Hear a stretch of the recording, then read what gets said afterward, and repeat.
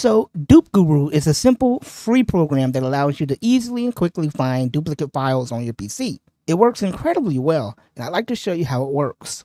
dupeGuru can be downloaded from the official website, and it's available on GitHub. Once open, go to the bottom left and click on this teeny little plus symbol and click on Add Folder to select the folder to scan. I'll go ahead and scan my Documents folder, and here on the right, you can choose whether you want to include the folder, use it as a reference, or exclude the folder in the scan. At the top here where it says Application Mode, select the type of content you want to scan.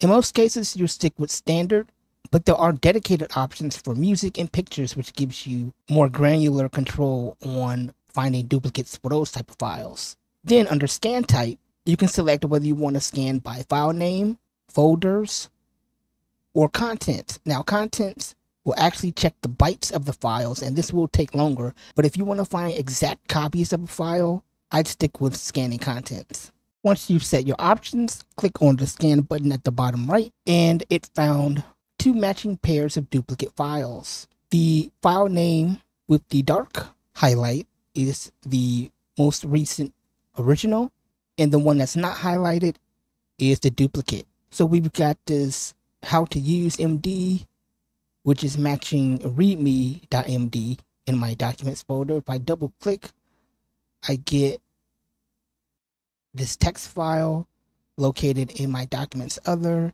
and this readme, which these are the same exact files. Then I have this Word document, which matches this other Word document. So it found the duplicates. And what's nice is that if you look on where it says match, it tells you how much of the files match each other. In this case, these two files match 100%, so they're exact copies. You can also see the size in kilobytes.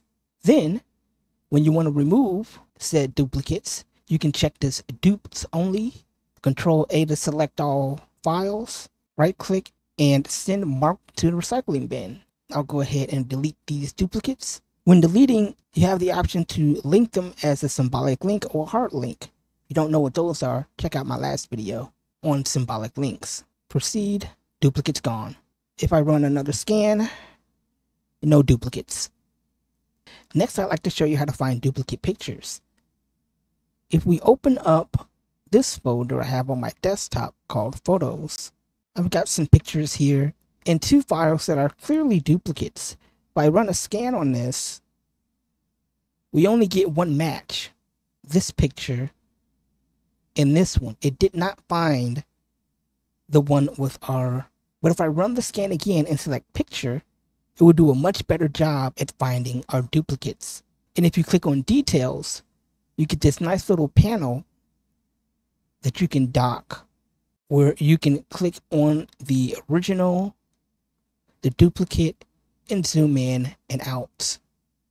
Notice here that under match, we've got a 99% match and that's because I saved this PNG out as a JPEG.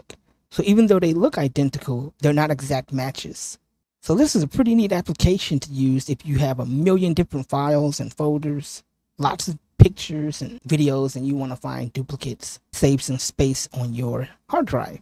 So that's a quick look at dupeGuru.